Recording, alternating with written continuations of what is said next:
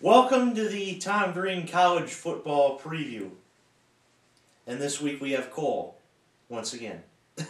this week he is actually able to join us as the last two weeks I put the NFL put the NFL in a little too late for his work. But this time I made sure. This this um uh originally Adam and I were gonna film this show in Ann Arbor. But Oh, really? unfortunately Adam well, fortunately for him, Adam found two jobs and now he's working just about every day. So good for him. And on the political side of that, that's for a different show. But anyway. me no like Obamacare. Anyway. Um, so this week in college football, or last week I should say, one of the undefeateds lost. And that was the Sick'em got sick. Baylor Bears. Yeah, that one I was truly surprised about that one, as I thought Baylor was at least make it a little. It would be a close game, I thought. But Baylor got stomped by Oklahoma State. I was Mhm. I was downstairs watching that game my mom and dad. I was like, oh my god, this is. I couldn't even watch the game. I got to third quarter, I turned it off because it was so bad. like I I- after for a four team that beat Oklahoma and pretty much beat them up pretty good. Mm-hmm. They came to this one and just did not even want to try. It seemed like uh, I was just amazed how bad that game was for them. I was actually working during the majority of that game, and I came home and I saw the score, and I'm like, well, if I can get the thing out here. I was basically like, holy.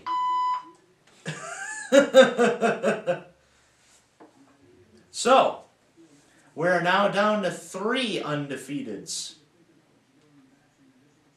Believe it or not. And remember, remember last year there were I think there were three undefeateds at this point last Yes, year. was. So who knows what could happen. So let's go right to the let's go to some big games here. Let's go Mizzou against A and M. Well, Missouri coming this week, a very tough team, and they have been playing great all season long as they have stuff going for them. And then they're playing an AM team who I just feel like is not playing like they should be at this point of the season. Yeah, the the LSU game was a down was a downer for them. Oh yes, that was again. Uh, Johnny Football not doing anything done that week. Even though I still feel like he is a great player for this te- uh, team, and he is going to be, I believe, the top quarterback in the NFL when he get, does get drafted out of that class. Mhm. Even though people don't think that, I think he is a great talent for that team, and he has some big, big potential for him. For a team heading to Missouri, though, this this tighter team for this Missouri team has been playing good right now. Franklin, their starting quarterback from Missouri, he's been having a great season for them. Uh, but in this game, I feel like Missouri has a huge advantage over them, especially since Missouri is at home as well. As I believe Texas A&M ain't that good of a away team this season, as we've noticed. And I feel like Texas A&M they're going to be have to be kissed their ranking goodbye after this week because I believe Missouri is just that good of a team, and I believe Missouri's going to take this one 31-24. Well, the the winner this will decide the SEC East. If Mizzou wins this game, they will face the winner of Alabama and A and M. If they lose this game, it will be South Carolina. Uh, we all thought that um, Johnny Manziel was going to be something special, and he was this year. He actually did better than last year. Unfortunately, he won't be in the Heisman rating because of how their team is. Come on, voters! Come on!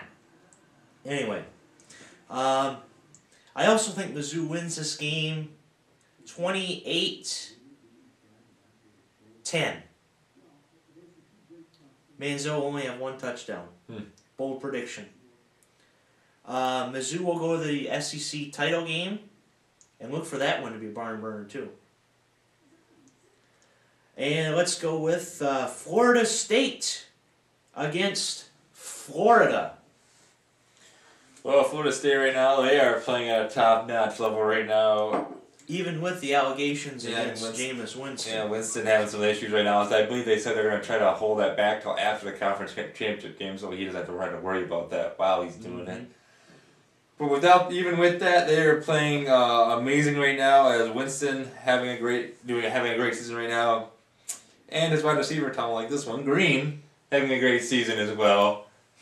and they're playing going to a Florida team which eh, they have fell from where they've been this year, a couple years. And that pretty much sums it up right there. As his team just has nothing going good for them right now this season. They're four and seven, and will not be making a bowl game, which I can't remember the last time a bowl, Florida team ever made a bowl game. That's been a while. I mm-hmm. feel like it's They last week they lost to not Georgia, and not Georgia, not Georgia Tech, and not even Georgia State, but Georgia Southern.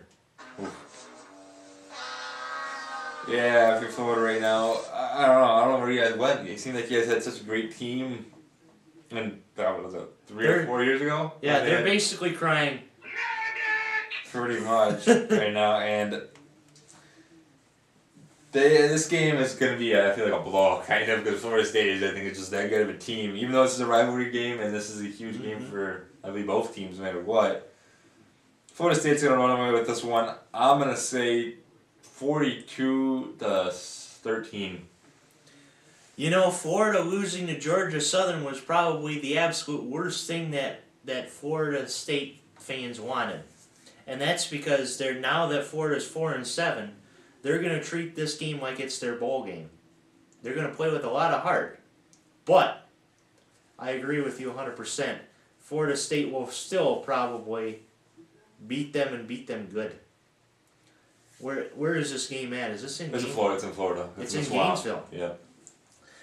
Well, then the game might actually be a little bit closer.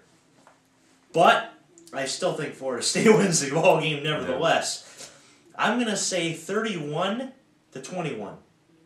A little closer, but still Florida, I think, handles them pretty easily. We'll get to the two big games of the week in segment two.